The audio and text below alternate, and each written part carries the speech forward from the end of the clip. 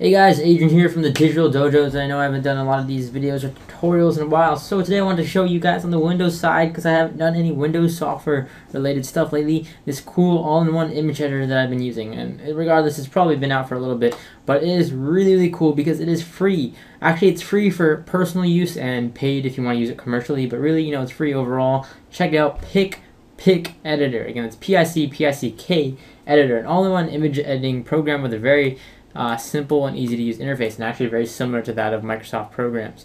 So for example, you can create a new blank image here, you can open an existing image, and you have all these built-in extra tools. So let me go through those real quick. You have a color picker, which allows you to pick any color on screen here. Um, this kind of puts this little thing that you can't see in the bottom right. It's kind of like a magnifying glass. Obviously, I have a black desk desktop, so you can't really see anything. But if you ever needed to, like, if you're a coder or anything like that, or if you ever want to know specifically what color you know what color anything on the web pages or something you can use that. Has a color palette a magnifier uh, which you can see here you know magnifying. Um, has a pixel ruler which actually can come in handy as well uh, when measuring stuff. So again really really great in terms of for like developer or if you're anything if you're designing anything this is a really really awesome tool. So you can just use this and kind of move around like so.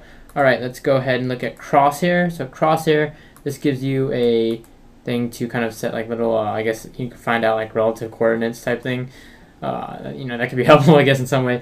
Uh, even a protractor, an online protractor to measure an angle on screen. Again, I guess that's more, you know, for a, uh, if you need to do anything related to that. But a really cool one that I was actually looking for is something that does these kind of whiteboard presentation things. So uh, this is something related from a next site, but you can do cool things like simple, like, you know, point arrows. Like, you know, I want to show you this crazy uh, icon I have right here in my video or I want to show you like you know I can draw and circle it like so or I can try and write to you guys the website digital.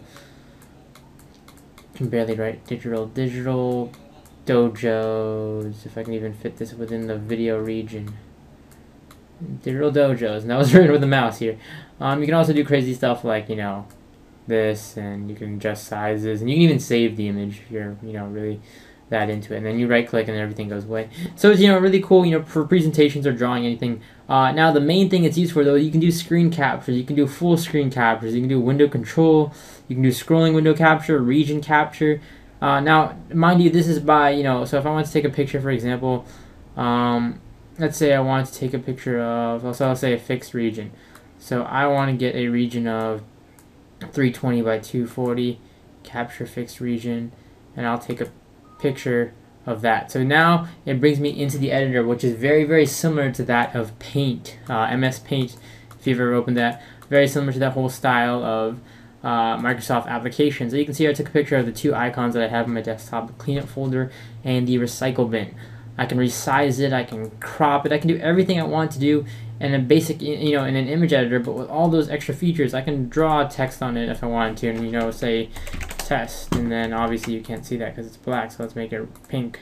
Uh, and you know I can increase the text size to like you know uh, 40 or whatever maybe 67 and then put that on there. I mean uh, it has so many features that are you know packed in this little uh, editor all for free and again really really easy to use. Even has this little ruler here so you can see image one. You can have tabs for new images stuff like that, guys. Really, really cool editor. Just a quick little nitpick download I found that I'm going to be using in future videos and tutorials. Again, pick, pick editor. I'm going to leave it uh, the below. I'm going to put an article in the video description uh, on my uh, post over at digitaldojos.com showing this app and where you can download it, all that jazz. So again, head over to digital, digitaldojos.com and thanks for watching.